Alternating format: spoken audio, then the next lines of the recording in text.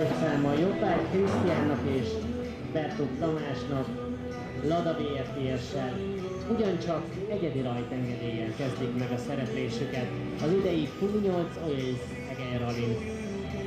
Ahogy már mondtam, az idei Magyar Bajnokság a 2020-as szezon harmadik verseny hétvégéjén. Jó utat kívánok!